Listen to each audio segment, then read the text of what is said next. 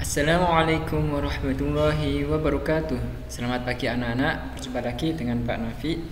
Bagaimana kabarnya kalian semuanya? Semoga kita semua Orang tua kita, guru-guru kita Saudara kita, teman-teman kita Semuanya selalu diberi kesehatan Oleh Allah subhanahu wa ta'ala. Amin ya rabbal alamin.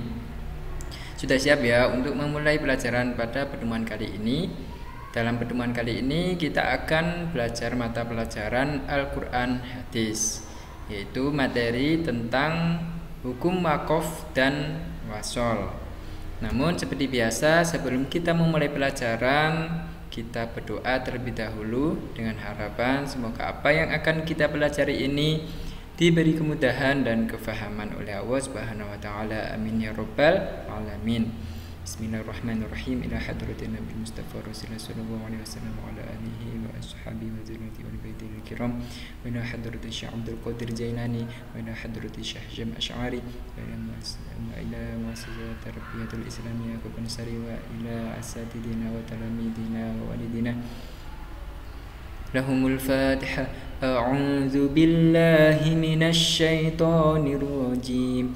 بسم الله الرحمن الرحيم. الحمد لله رب العالمين. الرحمن الرحيم. مالك يوم الدين. إياك نعبد وإياك نستعين اهدنا الصراط المستقيم. صراط الذين أنعمت عليهم غير المغضوب عليهم ولا الضالين. رب اغفر لي ولوالدي وللمؤمنين آمين.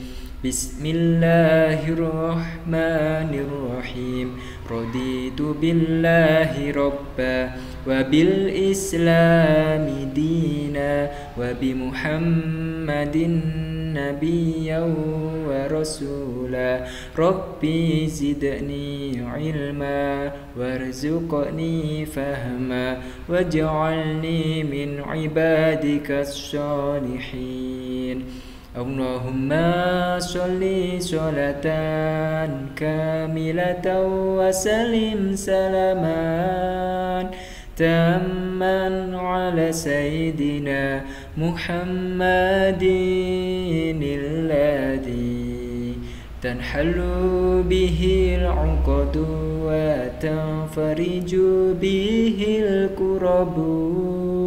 وتقضى به الحوائج وتنال به الرغائب وحسن الخواتم ويستسقى الغمام بوجهه الكريم وعلى آله وصحبه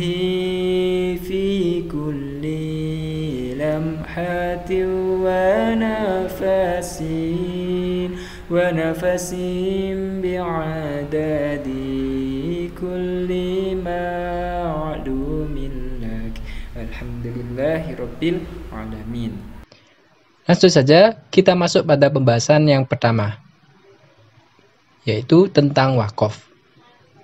Apa itu wakaf? Secara bahasa, wakaf berarti berhenti. Sementara berdasarkan kaidah ilmu tajwid, secara istilah wakaf berarti memberhentikan bacaan Al-Qur'an untuk mengambil nafas sejenak atau langsung memberhentikan bacaan.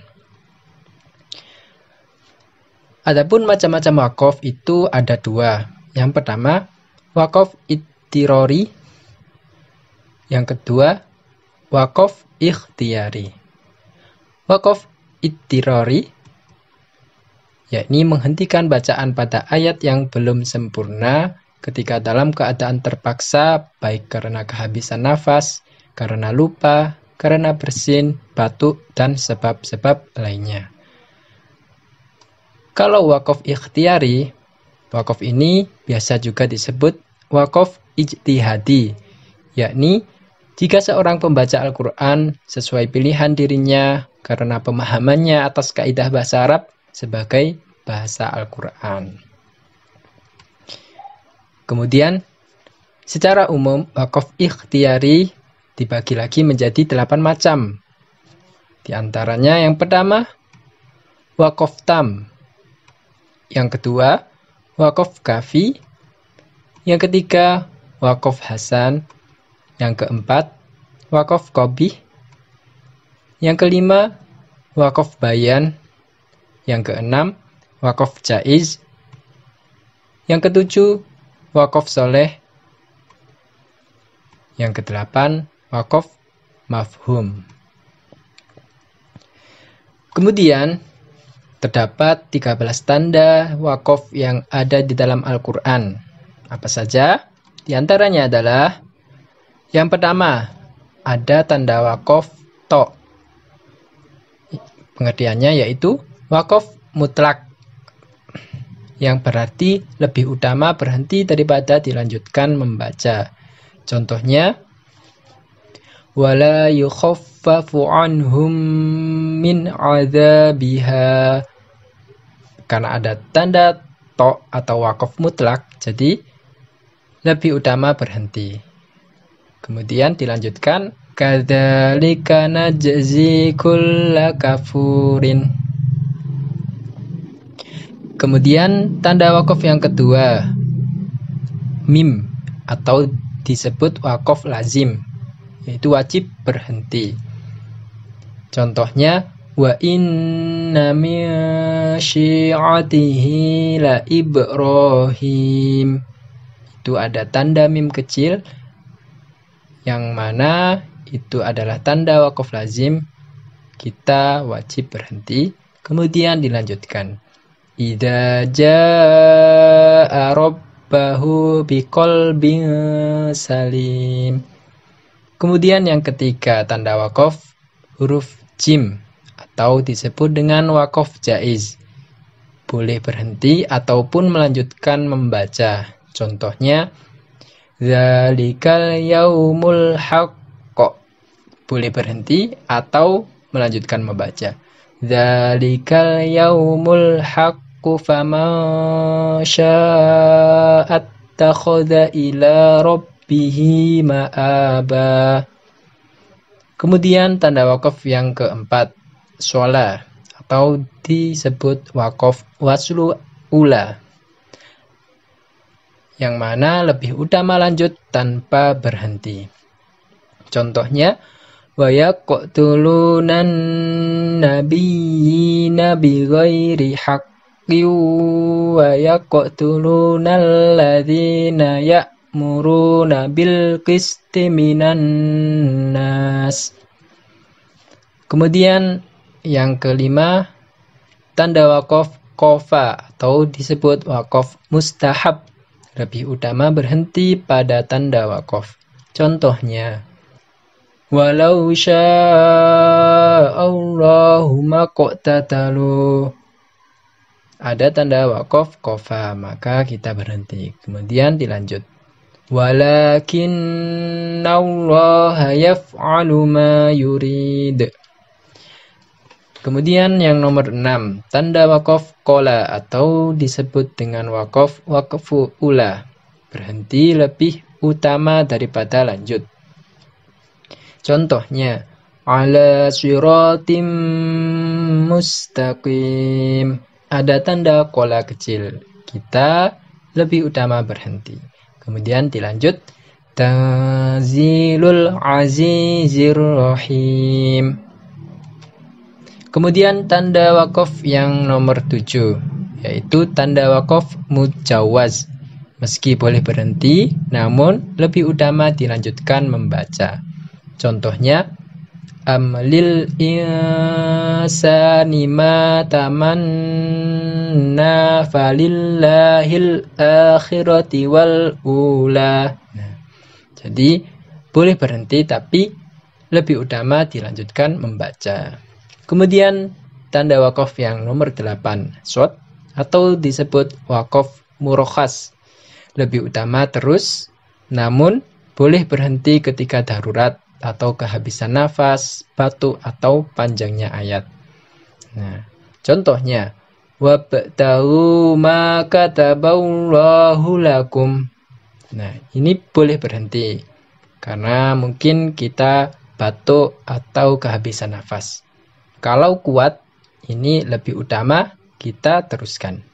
Wabtagu ma kataballahu lakum wa kulu washrobu. Kemudian tanda wakaf yang nomor 9, kof atau disebut wakaf kobi lebih utama terus tanpa menghentikan bacaan. Allah ilaha illa anta subhanaka inni kuntu minad dolimin. Kemudian tanda wakaf yang ke-10. Kaf atau disebut wakaf mutobikun ala ma qoblahu. Jika ada tanda ini, maka cara membacanya disamakan dengan wakaf sebelumnya. Contohnya wal adiyati dabha fal muriyati qadha